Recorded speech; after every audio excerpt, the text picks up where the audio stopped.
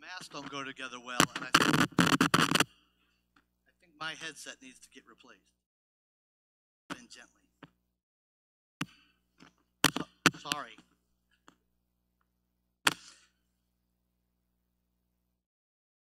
Uh, welcome back. It's good to see you this morning inside in worship. I'm Peter Cottrell. In case you don't remember, this is Reverend Macon Armistead, um, and some of you haven't met him before, and he'll get to take off his mask when he preaches this morning. Uh, we serve as pastors here at Coronado. Uh, Mike, and Steve, alongside our ushers and greeters, our CCMs, are delighted that you are here with us worshiping this morning. We're still asking for your patience as we continue to try to uh, make this process uh, easier and uh, make sense. Um, all of the guidelines that we're working with right now have been done in consultation with our medical team. And so that's why it's important we're, we're following them and we're shifting now as folks, more and more folks get vaccinated.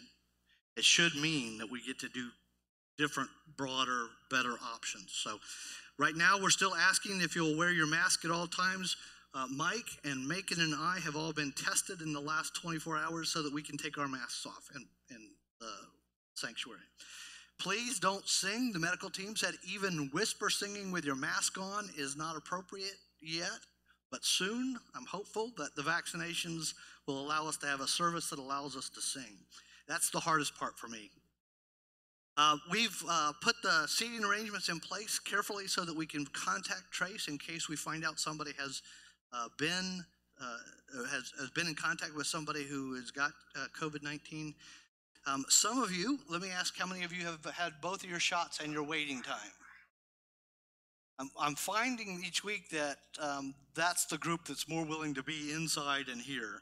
Um, my, my greatest desire is by Easter to be able to have a time when people can be in the room, sit next to each other, and sing in the same room and be an hour long because everybody in the room is vaccinated or been tested. So I'm hopeful. It's not quite, we're not quite there yet. Um, we know it's still difficult, but we ask you not to congregate too closely in the courtyard or in the parking lot. If you wear your mask, you can talk to each other, but try to keep the same kind of distancing requirements. We know that that's hard for us as well. Um, we were tested.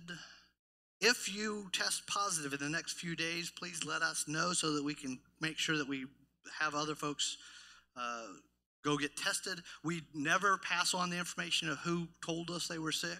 We always ask to find out those folks that were closest so they can go get tested and be sure that, that we're not passing along.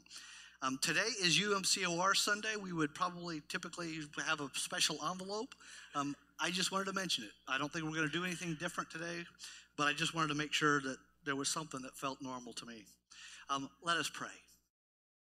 God of great love and amazing grace, we come to you again this day filled with grace and gratitude that we can be present with you and with each other in worship.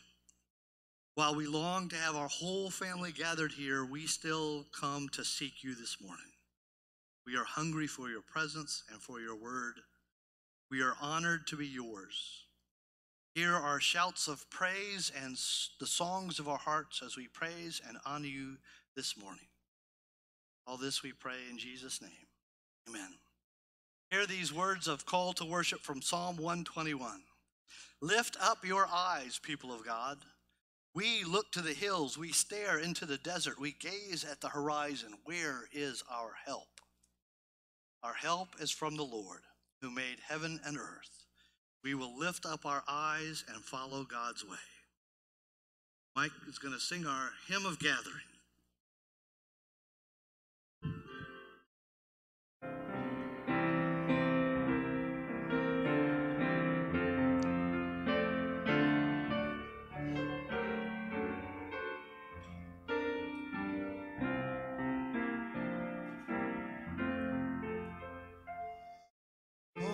Jesus, I have promised to serve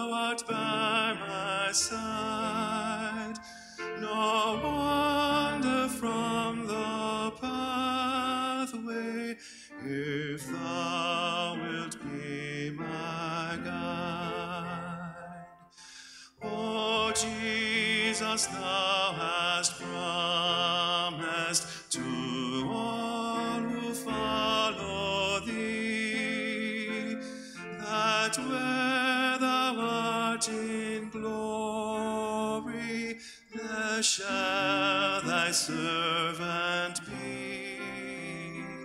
And Jesus, I have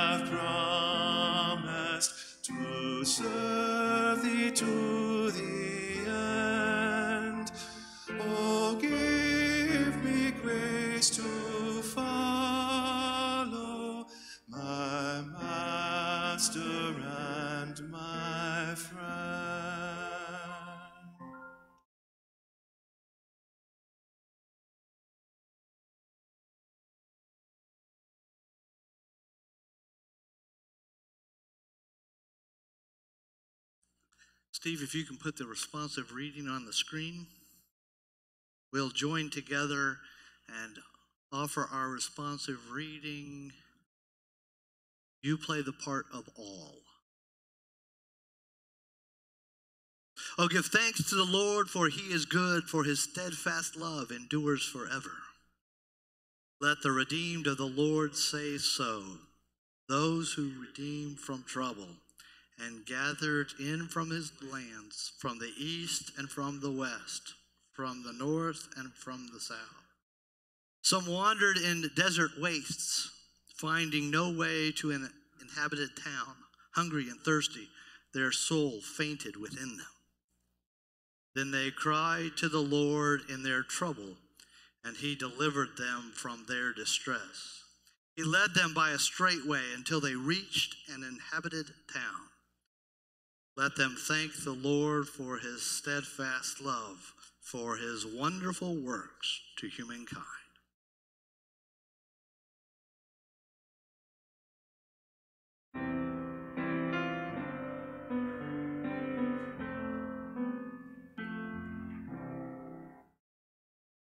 I cast all my cares upon you.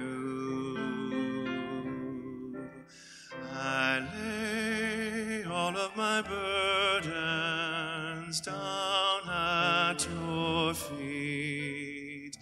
And any time that I don't know what to do, I will cast all of my cares upon you. I will cast all my cares upon you.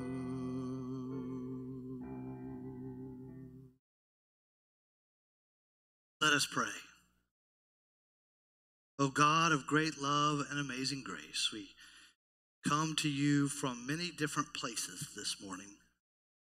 Some are feeling light and free, ready to get out and engage the world once more without while others are still waiting, sitting, trying to be patient for that ticket to freedom. We are mindful that some in our world are in very desperate circumstances, holding on for just one more day, even one more meal, as their personal economics have been devastated.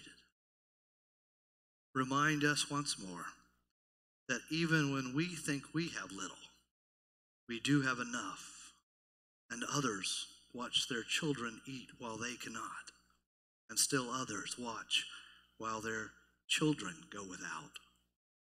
We pray for children and other vulnerable persons. Give us a heart for them that beats the same as your heart for them. Give us heart and head and hand to be you in the world around us. Fill us with gratitude. Allow us the common bond the same broken heart to be with those who are working through their grief. Challenge us when we worry only about ourselves and when we have more than enough and do not share. We offer you thanks for your love. Make our love more like your love. Today we pray for your church around the globe as we all work to revision who we are to be in this new future that we did not expect. Keep us grounded in your word, called to do justice, to love kindness, and to walk humbly with you. Right now, we beg you, give us the same heart as Christ when we pray his words. Our Father, who art in heaven, hallowed be thy name. Thy kingdom come, thy will be done, on earth as it is in heaven. Give us this day our daily bread, and forgive us our trespasses, as we forgive those who trespass against us. And lead us not into temptation, but deliver us from evil. For thine is the kingdom, and the power, and the glory, forever and ever. Amen.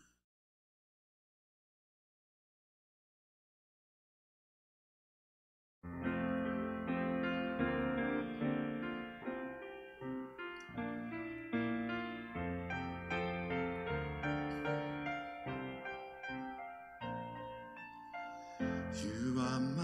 supply, my breath of life, still more awesome than I know.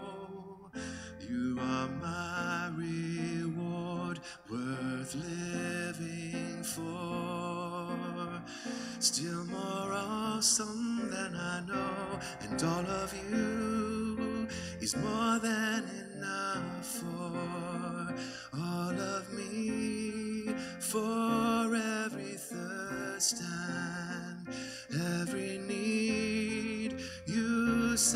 satisfy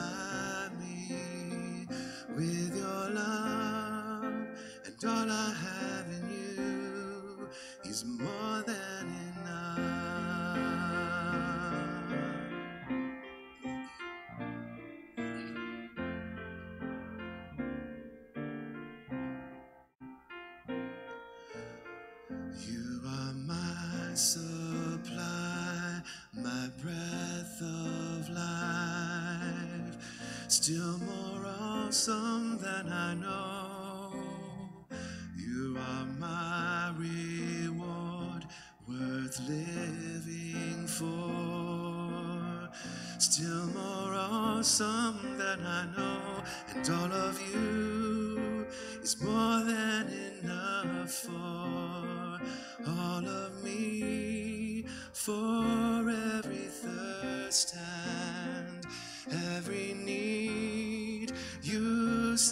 satisfy me with your love, and all I have in you is more than enough.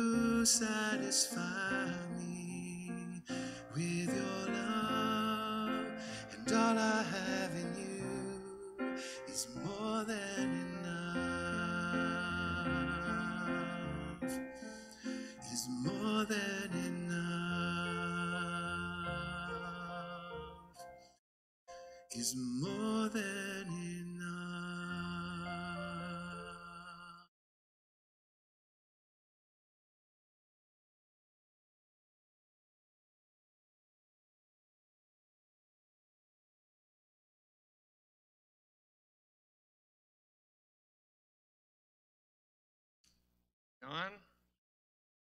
Check. Good. All right. We are learning.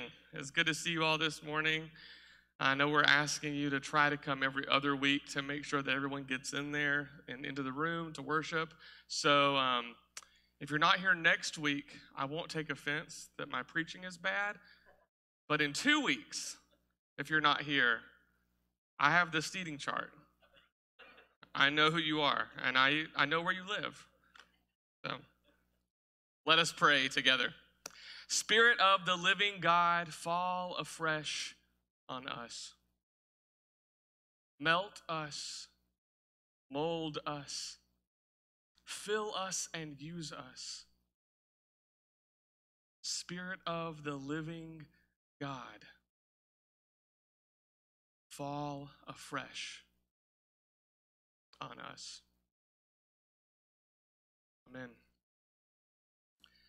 As we are journeying through personal piety and social holiness this Lenten season, what John Wesley would call practical theology, Dr. Amy Jill Levine has been our guide.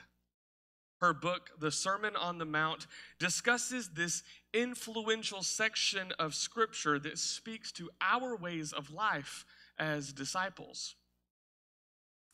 The part of this sermon that we will read today in Matthew 6 9 through 13 is likely not new to many of us. However, it may be a little different than the version some of you can recite from memory. It's the prayer that Jesus taught us to pray, and it goes a little something like this Our Father in heaven, hallowed be your name. Your kingdom come, your will be done on earth as it is in heaven. Give us today our daily bread and forgive us our debts, as we also have forgiven our debtors.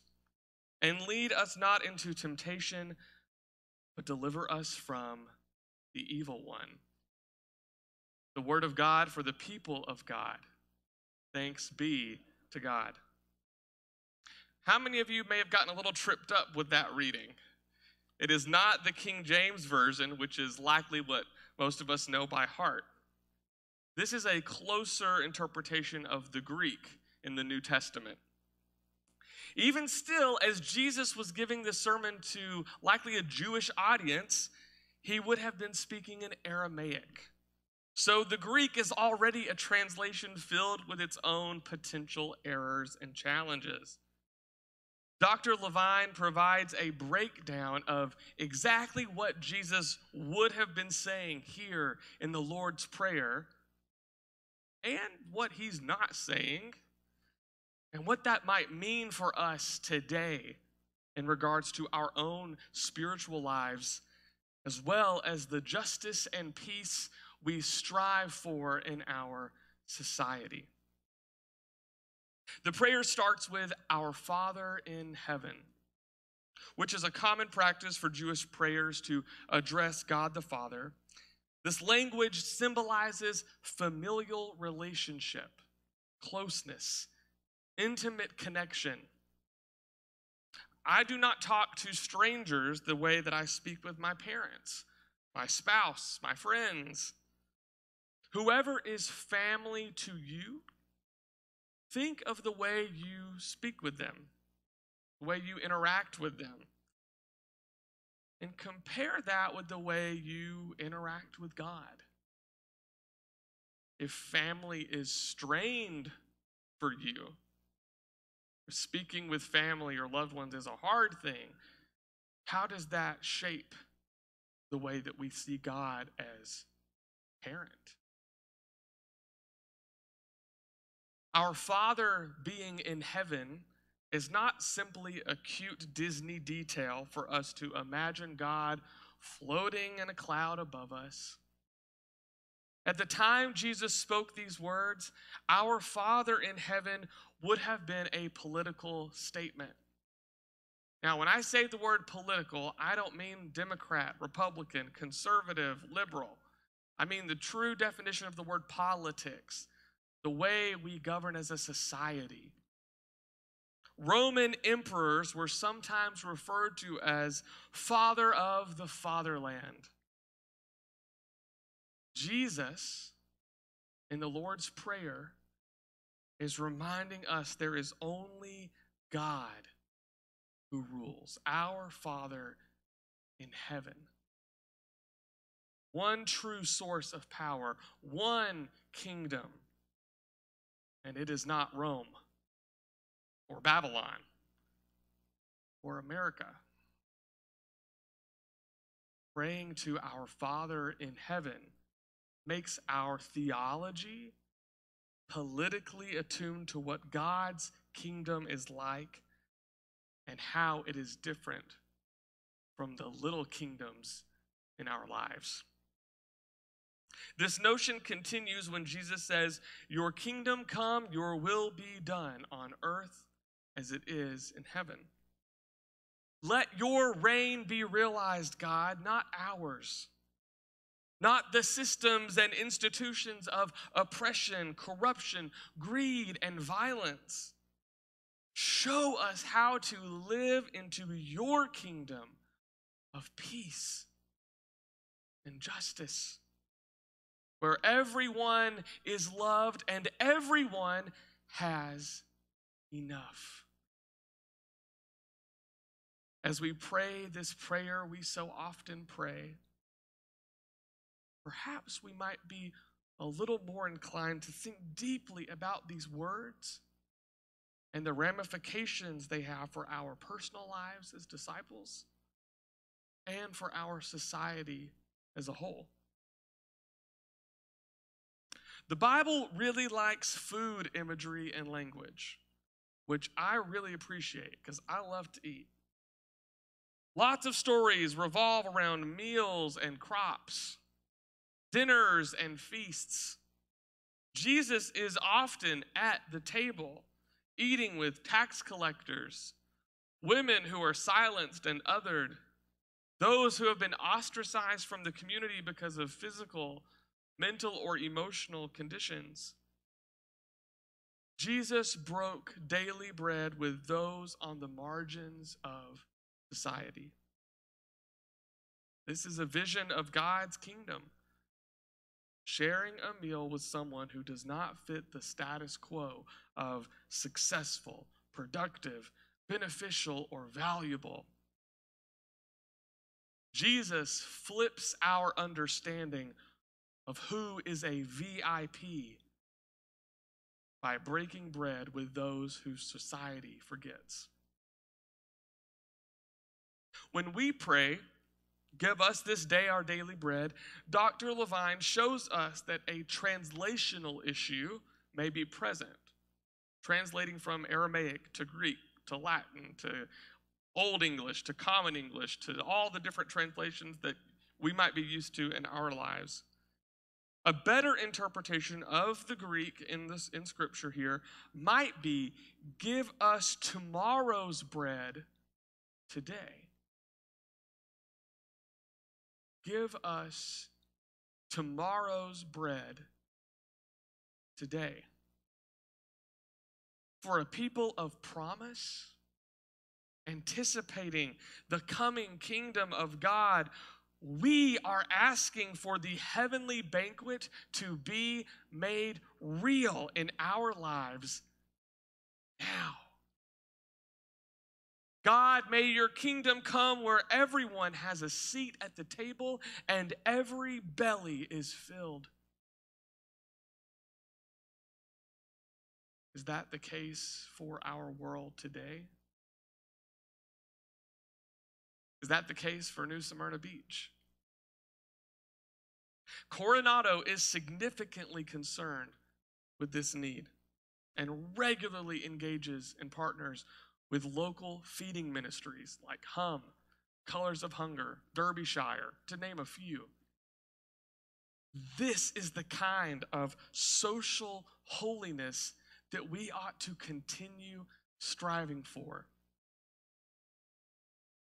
Because until all bellies are filled, we have some kingdom work to do. We ask God to forgive us our sins, debts, or trespasses, and to help us forgive those who have sinned or, trans, or trespassed against us, who are indebted to us. We learn elsewhere in Matthew that unless we forgive others, then our sins are not forgiven. It is clear that we need God's help in forgiving others. For us to pull up a seat next to our enemy at Christ's messianic banquet, the vision of restoration and fulfillment throughout all of Scripture, forgiveness is required. If you're like me, then you start going through the laundry list of all the things you've done that you need forgiveness for. Maybe uh, you called your brother a mean name. Maybe you ate that last piece of cake without asking if anybody else wanted a piece. Maybe that light was more red than yellow when I went through it. Dr. Levine reminds us of the ways in which our sins, or rather, the ways in which we are indebted, take hold socially, economically, in our way of life. The Florida Conference has put many initiatives in place for both congregations and for clergy to work towards anti racism. One of the initial steps of being anti racist is for people of privilege to acknowledge the ways in which we benefit from institutions and systems. To see not only internal or interpersonal racism, what I think about someone or how I treat someone, but to understand racism's role in our larger society. If we are to be working towards the kingdom of God, we must acknowledge, name, and unlearn our debts and trespasses towards people different than us at a systemic level.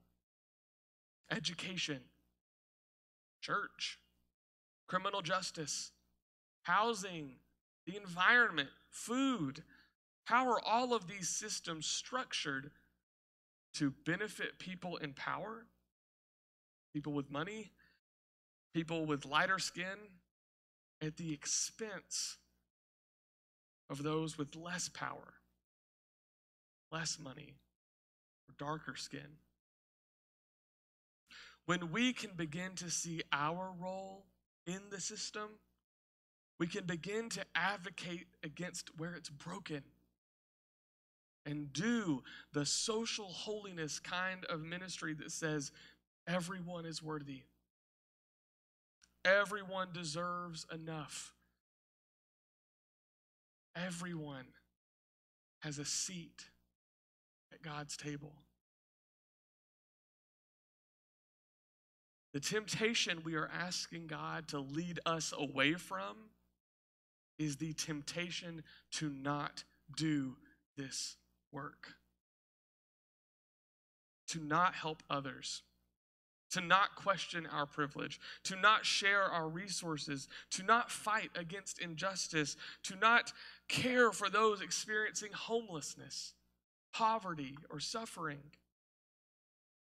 At the personal level, this must be our individual call to keep the vision of the kingdom of God in our hearts. And this must be our charge as a community to live a life together that reflects the dinner table of God's kingdom, God's family. When we ask God to deliver us from evil, to rescue us from temptation, we are praying for God to give us strength to withstand our inner desire for more money, more status, more power, more control. If these are the things we strive for, and I have strived for these things in my life, I don't think we're praying to the God of Abraham Moses or Jacob. Instead, we are praying to the God of wealth and prosperity to put ourselves first.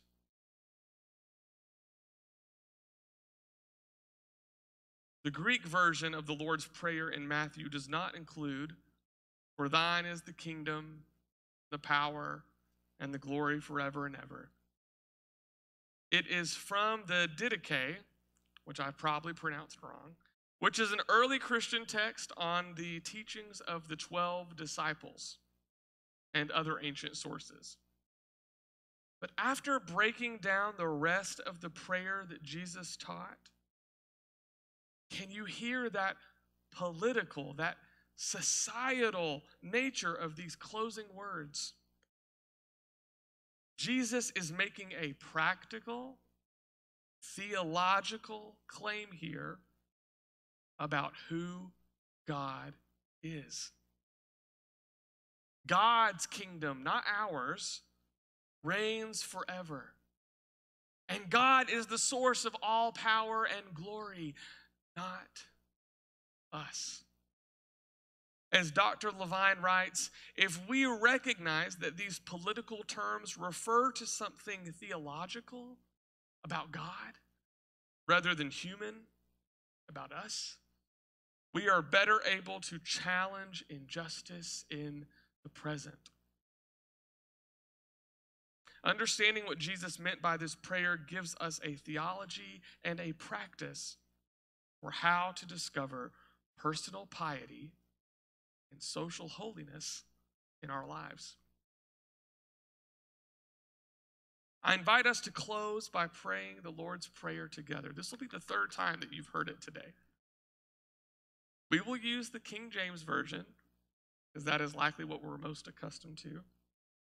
Whether you know these words by heart or you need to look them up on your phone, I encourage you to hear them and speak them as if for the very first time. Listen to the Spirit speaking to you through this prayer.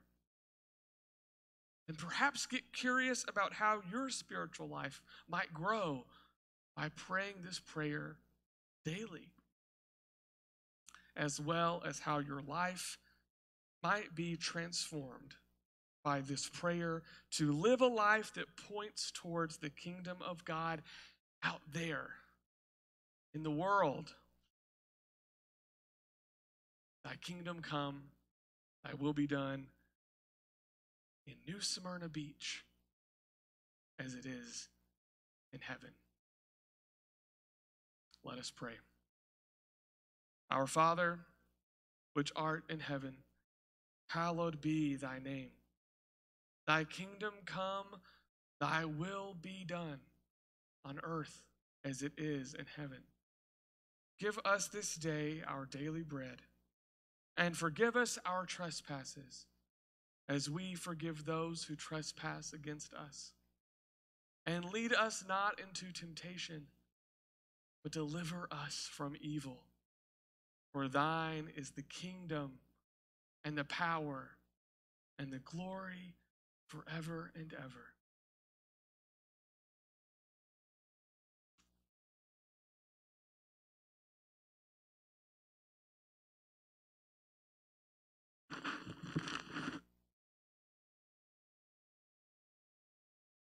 Because we're not passing plates, we do the offering by inviting you as you leave to put it in the offering box.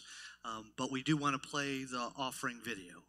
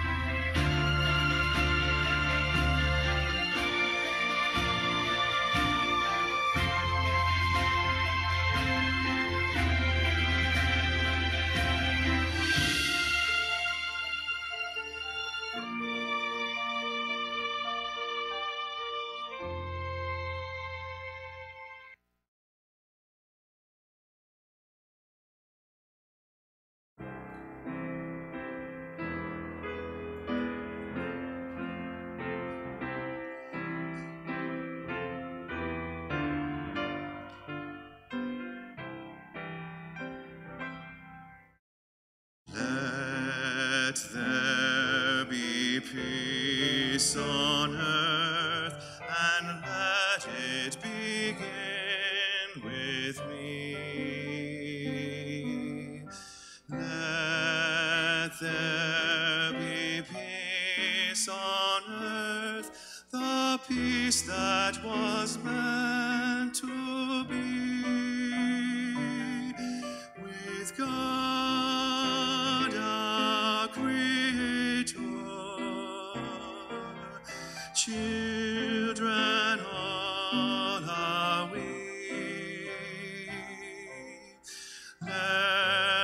Let us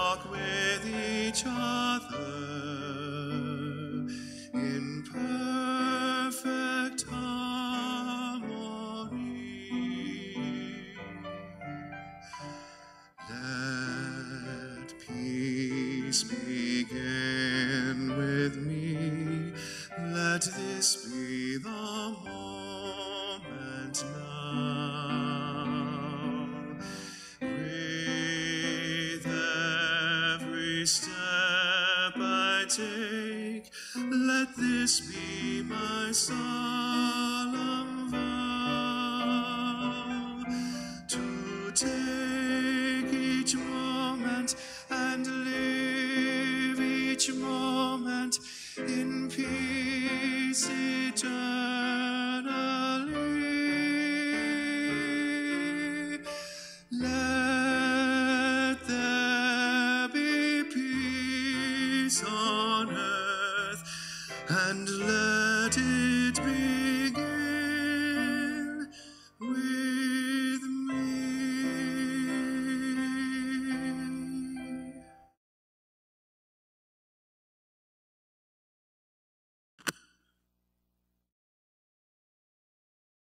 After the benediction, the ushers will come down the center aisle and dismiss you so that we can keep a certain amount of distance and let those folks uh, pass out the um, through the doors without us bunching up too much.